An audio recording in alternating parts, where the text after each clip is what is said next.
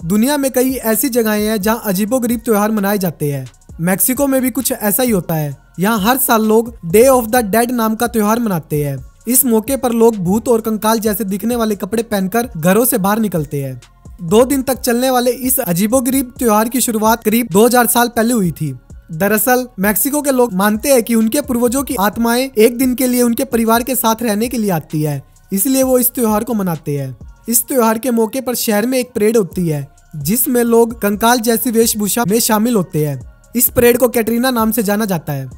Media report के मुताबिक, Mexico city के टालाउआक में सड़क पर एक विशाल कार्डबोर्ड का कंकाल बनाया गया था, जो देखने में ऐसा लग रहा था जैसे उसका सिर और एक हाथ ज़मीन से बाहर निकला हो।